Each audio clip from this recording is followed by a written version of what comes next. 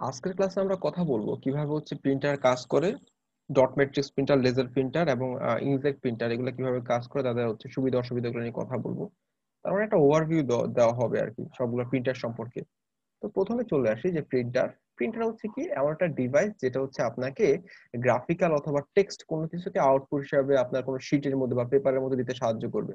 তার মানে কোনো আপনার কাছে কোনো গ্রাফিক্যাল কোন কিছু আছে টেক্সট আছে হ্যাঁ কোনো একটা ডকুমেন্ট আছে, সেটাকে যদি হচ্ছে আপনি এখন হার্ড কপি পেতে চান, তখন সেটা হচ্ছে আপনি কি করবেন? যে হচ্ছে একটা পেপার বা শিটের মধ্যে হচ্ছে আপনি পেতে পারবেন এই প্রিন্টারের মাধ্যমে। আচ্ছা আর প্রিন্টারের যে ডিফারেন্ট সাইজ থাকে স্পিড থাকে হ্যাঁ এবং সফিস্টিকেশন থাকে, এবং কস্ট থাকে আর কি। তো এগুলোর উপর ভিত্তি করে আমি প্রিন্টার কোয়ালিটি মানে বের করতে পারি আর কি যে আমি যদি কস্টলি প্রিন্টার ইউজ করি ফাস্ট প্রিন্টার ইউজ করি, তাহলে হচ্ছে আমি হচ্ছে অবশ্যই হাই রেজলিউশনের ইয়া পাবো আর কি দ্যাট মিনস হচ্ছে আমার হচ্ছে আউটপুট পাবো আর কি তো এটা নিয়ে আমরা কথা বলব যে হাই যেটা হচ্ছে কস্টলি প্রিন্টার সেটা হচ্ছে আমার লেজার প্রিন্টার আর যদি আমি নর্মাল প্রিন্টার ইউজ করি ডট ম্যাট্রিক্স প্রিন্টার ইউজ করে থাকি, তাহলে কস্ট কম পড়বে, আমি ঠিক ওইরকম করে হচ্ছে আউটপুট পাবো আর কি। আর আমি যদি লেজার প্রিন্টার ইউজ করি, তাহলে হচ্ছে আমি হ্যাঁ পাবো, আমি আউটপুট পাবো বাট তার কোয়ালিটি লেজার প্রিন্টারের মতো হবে না আর কি। আর এক্ষেত্রে কস্ট কম হবে। তো এখন কথা বলছে কি, যে হচ্ছে in general most more expensive printers are used for high resolution colour printing হ্যাঁ ইয়া সো কি বলা হয়েছে এখানে? যে হচ্ছে হাই রেজলিউশনের প্রিন্ট হাই কালার প্রিন্টিংগুলো কখন ইউজ করা হয়?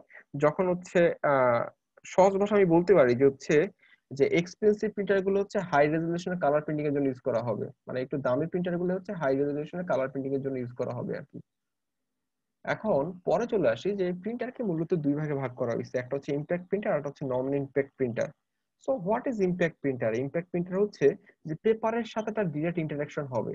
মানে যে প্রিন্টারে পেপারের সাথে ডিরেক্ট ইন্টারাকশন হয়, তাকে বলা হচ্ছে ইম্প্যাক্ট প্রিন্টার সো আমার এখানে নিডল থাকবে হ্যামার থাকবে, হাতুড়ি থাকবে আর সুইচ থাকবে। সেখানে একটা আমার হচ্ছে একটা রিবন থাকবে আর কি হ্যাঁ? ইঙ্ক রিবন থাকবে।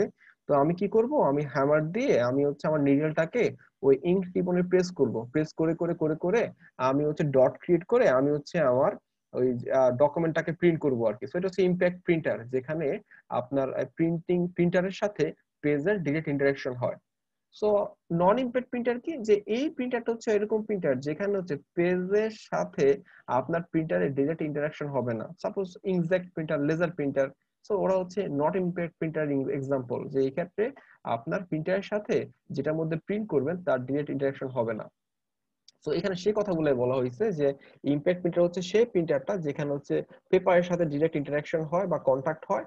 সো এর এক্সাম্পল দিচ্ছি কি এখানে? যে ডট ম্যাট্রিক্স প্রিন্টার হইতে পারে, তারপর হচ্ছে ডেজি হুইল প্রিন্টার হইতে পারে লাইন প্রিন্টার হইতে পারে ড্রাম প্রিন্টার হইতে পারে চেন প্রিন্টার হইতে পারে বা ব্যান্ড প্রিন্টার হইতে পারে। সো এগুলো সবগুলো হচ্ছে ইম্প্যাক্ট প্রিন্টারের এক্সাম্পল সো আমি যদি আসি নন ইম্প্যাক্ট প্রিন্টারে সো এই ক্ষেত্রে কোনো স্ট্রিকিং ডিভাইস ইউজ করা হবে না, কোনো ইন্টারাকশন হবে না পেপারের সাথে। আর এগুলো হচ্ছে কি কি আমার? লেজার প্রিন্টার ইনজেট প্রিন্টার এটা হচ্ছে আমার নন ইম্প্যাক্ট প্রিন্টারের এক্সাম্পল এখন যদি আমরা আসি, পরীক্ষার সময় আসতে পারে যে ইম্প্যাক্ট প্রিন্টার এবং নন ইম্প্যাক্ট প্রিন্টারের মধ্যে পার্থক্য কি? অথবা হচ্ছে ডট ম্যাট্রিক্স প্রিন্টার এবং লেজার প্রিন্টারের মধ্যে পার্থক্য কি? তো আমরা যদি শুরু করি, যে শুরুতে বলব হচ্ছে সহজ কথা, প্রথম কথা যে আমার ইঙ্ক রিবন থাকবে পেপারের সাথে ডিরেক্ট ইন্টারাকশন হবে। হ্যাঁ এই ক্ষেত্রে কোনো পেপারের সাথে ডিরেক্ট ইন্টারাকশন হবে না।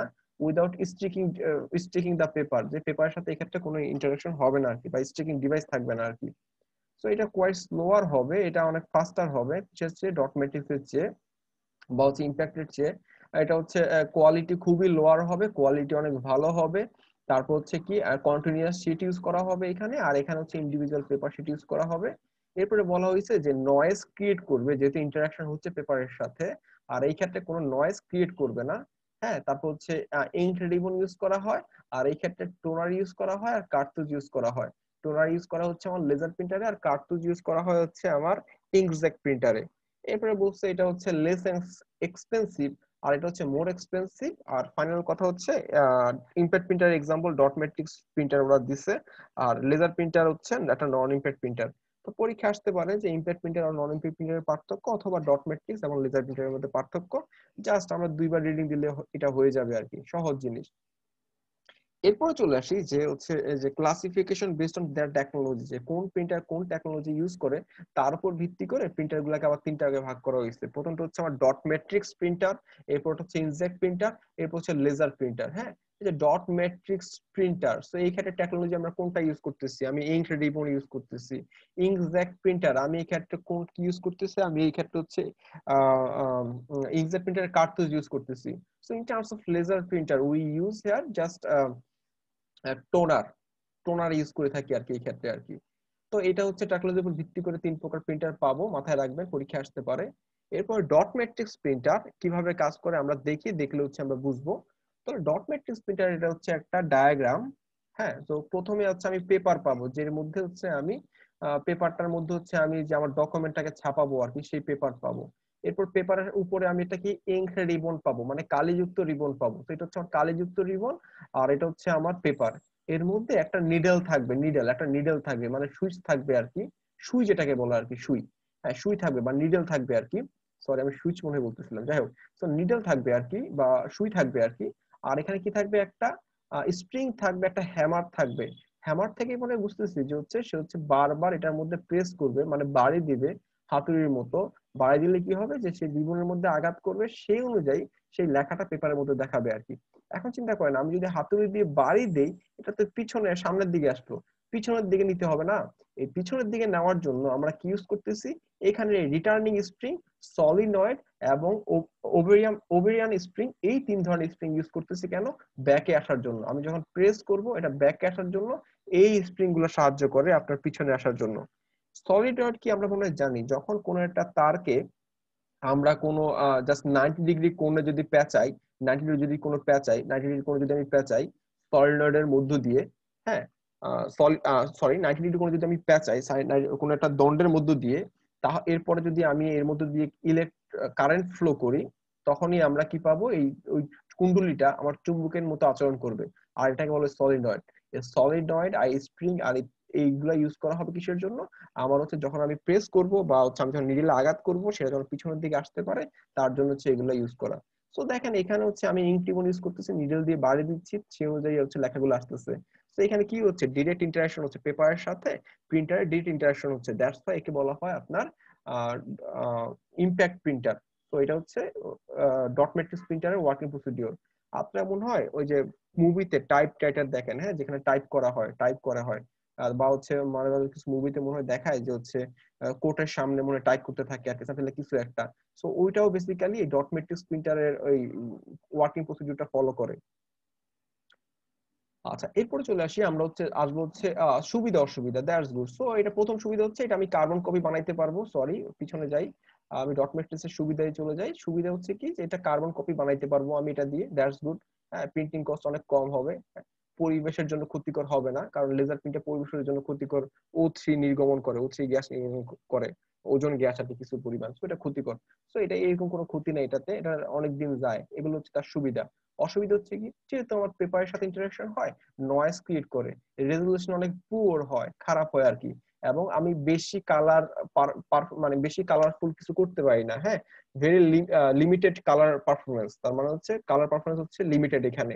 আর স্পিড হচ্ছে অনেক স্লো সো এগুলো হচ্ছে সুবিধা অসুবিধা ডট ম্যাট্রিক্স প্রিন্টারের এখন আমি যদি ইঙ্কজেট প্রিন্টারে আসি ইঙ্কজেট প্রিন্টারটা সহজ ভাষায় আমি একটু বলি। ইঙ্কজেট প্রিন্টারটা হচ্ছে এমন একটা প্রিন্টার, যে প্রিন্টারের মধ্যে একটা ডিজিটাল ইমেজ ক্রিয়েট করা হয়। আমার যেটা প্রিন্ট করব, তার ডিজিটাল ইমেজ ক্রিয়েট করা হয়। কীভাবে?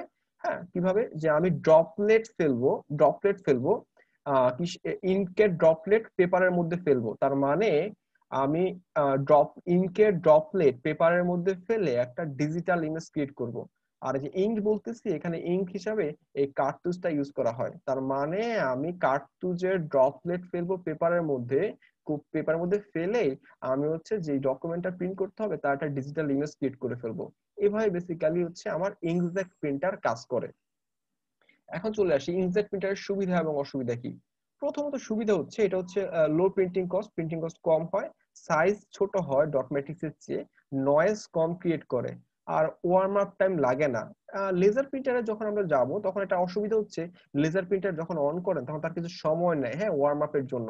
বাট এই যে ইনসেক্ট প্রিন্টারে সেই ওয়ার্ম আপের সময় লাগে না, এটা হচ্ছে তার একটা সুবিধা। আর এটা অসুবিধা কি? একটু এক্সপেন্সিভ এটা হচ্ছে মেইন অসুবিধা। এরপর হচ্ছে আমি যদি বেশি দিন ইউজ করি একটা ইনজেক্ট প্রিন্টার তাহলে এটার কোয়ালিটি আস্তে আস্তে খারাপ হয়ে যায়। আর ইনজেক্ট প্রিন্টারে যদি আমি প্রিন্ট করে কোনো কিছু নিয়ে আসি, তার মধ্যে যদি পানি ফেলি, তাহলে সেটা ব্লার হয়ে যায়। এবং আরেকটা হচ্ছে ইনজেট প্রিন্টারে যে হচ্ছে নজেলগুলা ইউজ করা হয়, সেটা মাঝে মাঝে জমে যায়। আরেকটা মেইন অসুবিধা হচ্ছে, আমি যদি একটা ইনজেট প্রিন্টার অনেক দিন ইউজ না করি, তাহলে এটা ড্রাই আপ হয়ে যাবে। দ্যাট মিনস ওই আমার যে কার্তুজ যেটা ইউজ করতেছি, সেটা শুকিয়ে যাবে। সো এইগুলো হচ্ছে ইনজেট প্রিন্টারের সুবিধা এবং অসুবিধা। আমরা এখন আমরা লাস্টে চলে আসি, চলে আসছি যে হচ্ছে লেজার প্রিন্টার দেখব। সো লেজার প্রিন্টার মনোযোগ দিয়ে শুনি। হ্যাঁ এটা আমি সহজ ভাষায় বলি এটা অনেক ডিটেলস আছে। সহজ ভাষা হচ্ছে এখানে একটা ফটোকপি মেশিনের মতো কাজ করে। লেজার প্রিন্টার প্রথমে একটা কি করে? যে হচ্ছে laser printer produce image on paper by directing a laser beam a mirror which bounce the beam on to a drum সহজ ভাষায় চলে আসি। আমার এই যে লেজার প্রিন্টারটা ইউজ করতেছি, সেই লেজার প্রিন্টারটা একটা ইমেজ ক্রিয়েট করে। হ্যাঁ আমি একটা লেজার বিম ফেললাম, আমার যেটা প্রিন্ট করতে হবে তার উপরে। হ্যাঁ তার একটা মিরর থাকবে, তার একটা রিফ্লেকশন পাবো। তাহলে আমি যেটা প্রিন্ট করব, তার একটা রিফ্লেকশন পাবো মিররের মধ্য দিয়ে। পরবর্তীতে সেটা আমার ড্রামের মধ্যে এসে আঘাত করবে। ড্রামটা কি করবে? ড্রামের মধ্যে আবার কি থাকে? আমার টোনার থাকে। এই ড্রাম হচ্ছে টোনার দ্বারা আবৃত থাকে। আর টোনারগুলো হচ্ছে নেগেটিভ চার্জ যুক্ত। এটা হচ্ছে নেগেটিভ চার্জ যুক্ত। তাহলে আমি লেজার লেজার রে দিয়ে আমি কি করতেছি? আমি যেটা প্রিন্ট করব, তার একটা রিফ্লেকশন ক্রিয়েট করতেছি মিররের মধ্য দিয়ে। সেটা কোথায়, সেটা কই আসবে? সেটা হচ্ছে, এটা হচ্ছে ড্রামের মধ্যে আসবে। আর ড্রামের মধ্যে টোনার থাকে, টোনারটা হচ্ছে, বা ইঙ্ক পাউডার থাকে, যেটা হচ্ছে নেগেটিভ চার্জ যুক্ত। এখন চিন্তা করেন, আমি নেগেটিভ চার্জ যুক্ত টোনার বা ইঙ্ক পাউডার ক্রিয়েট করতেছি, আমি যদি এখন একটা পেপার নেই পেপার যে পেপারটা হচ্ছে পজিটিভ চার্জ যুক্ত বাট নর্মাল পেপার যেটার মধ্যে আমি শীট যেটার মধ্যে হচ্ছে প্রিন্ট করব সো এখন আমি পজিটিভ চার্জ যুক্ত একটা পেপারকে যদি এই ড্রামের ড্রামের পাশ দিয়ে যদি আমি নিয়ে যাই, তাহলে নেগেটিভ চার্জ এবং পজিটিভ চার্জ দুইটা নিউট্রালাইজড হয়ে যাবে, দুইটা একসাথে মিলে যাবে। মিলে গিয়ে কি হবে? যে এই টোনারের ওই নেগেটিভ চার্জগুলো অনুযায়ী সে হচ্ছে সাদা পেপারের মধ্যে আমার যেটা প্রিন্ট করতে হবে, সেটা হচ্ছে সে হচ্ছে চেপে দিবে আর কি। তো এভাবে বেসিক্যালি লেজার প্রিন্টার কাজ করে যে আমি লেজারের লেজার বিমটা আমি মিররের মধ্যে ফেলব, যার মধ্য দিয়ে আমি যেটা প্রিন্ট করতে চাই সেটা একটা ইমেজ ক্রিয়েট হবে, সেই ইমেজটা আমার ড্রামের মধ্যে পড়বে, আর এই ড্রামের মধ্যে থাকে হচ্ছে ইঙ্ক পাউডার যেটা নেগেটিভ চার্জ যুক্ত। এখন আমি যদি একটা পেপার যদি পজিটিভ চার্জ যুক্ত পেপার যদি তার পাশ দিয়ে নিয়ে যাই, তাহলে কি হবে? পজিটিভ নেগেটিভ দুটা নিউট্রালাইজড হয়ে যাবে, যার ফলে কালিটা নেগেটিভ চার্জ যুক্ত কালিটা আমার পেপারের মধ্যে চলে যাবে। তো এইভাবে বেসিক্যালি লেজার প্রিন্টার কাজ করে থাকে আর কি। এখন চলে আসি লেজার প্রিন্টারের সুবিধা এবং অসুবিধা। প্রথম অসুবিধা হচ্ছে প্রথম সুবিধা হচ্ছে, এটা হচ্ছে আমরা হাই কোয়ালিটি গ্রাফিক্স ইমেজ এবং টেক্সট পাবো হ্যাঁ? হাই কোয়ালিটি গ্রাফিক্স ইমেজ এবং টেক্সট পাবো এবং এটা অনেক স্পিড কাজ করবে আর কি। এরপর হচ্ছে হাই কোয়ালিটির আমরা আউটপুট পাবো হ্যাঁ? আদার প্রিন্টার হচ্ছে হাই কোয়ালিটি আমরা আউটপুট পাবো। এরপর হচ্ছে আমার কি হচ্ছে? এটা হচ্ছে সাউন্ড ক্রিয়েট করবে না, যেটা হচ্ছে ডট মেট্রিক্স প্রিন্টার করে থাকে। তারপর হচ্ছে কি বলছে? To produce a colour print তারা কালার কালার প্রিন্ট করতে সক্ষম আর কি। তাহলে হাই কোয়ালিটি এবং হাই রেজলিউশনের আউটপুট পাবো সাউন্ড ক্রিয়েট করবে না এন্ড দেন আমার হচ্ছে কালার পিকচার হচ্ছে বা কালার কালার ডকুমেন্ট আমরা হচ্ছে পাবো আর কি লেজার প্রিন্টার দিয়ে, এগুলো হচ্ছে তার সুবিধা। অসুবিধার মধ্যে প্রথমে আসবে কি হচ্ছে, তার লেজার প্রিন্টার এটা হচ্ছে মেইনটেনেন্স কস্ট হচ্ছে বেশি হবে আর কি। জল চলে যায়, যে তার হচ্ছে রিপেয়ার এবং সার্ভিসিং কস্ট একটু বেশি হবে আর কি। এটা হচ্ছে তার হচ্ছে একটা অসুবিধা। অবশ্যই তার এটা কস্টলি হবে, এটা হচ্ছে তার একটা আরেকটা অসুবিধা। এবং থার্ড যে অসুবিধা সেটা হচ্ছে সে কিছু পরিমাণে ওজন গ্যাস তৈরি করে, যেটা হচ্ছে আমাদের পরিবেশের জন্য ক্ষতিকর আর কি তাহলে এটা costly service charge maintenance charge এগুলো হচ্ছে তার বেশি হয়ে থাকে কিছুটা অন্যান্যদের তুলনায় এবং ক্ষতিকারক ওজন গ্যাস তৈরি করে, এগুলো হচ্ছে তার অসুবিধা। আরেকটা অসুবিধা হচ্ছে তার ওয়ার্ম আপ টাইম ভালোই লাগে আর কি হ্যাঁ? যে আমি যখন চালু করব তখন তার কিছু সময় নেই ওয়ার্ম আপ হওয়ার জন্য। এরপর হচ্ছে সে হচ্ছে প্রিন্টিং এর কাজ করে। তো আজকে আমরা দেখলাম যে প্রিন্টার কি কীভাবে কাজ করে impact printer non impact printer কি? এরপরে আমরা ইম্প্যাক্ট প্রিন্টার হিসাবে আমরা মনে হয় দেখছিলাম ডট মেট্রিক্স প্রিন্টার কীভাবে কাজ করে, তার সুবিধা, অসুবিধা। পরবর্তীতে আমরা দেখছি ইনজেক্ট প্রিন্টার কীভাবে কাজ করে, তার অসুবিধা অসুবিধা। ফাইনালি আমরা লেজার প্রিন্টার কি, কীভাবে কাজ করে, তার সুবিধা, অসুবিধা আমরা দেখছি। এখন এর মধ্যে যদি কারও কোনো সমস্যা থাকে, আমরা নেক্সট ক্লাসের শুরুতে এবং শেষে বলব, এগুলা নিয়ে পরে আবার আলোচনা করা হবে। সবাই ভালো থাকবেন। আল্লাহ হাফেজ।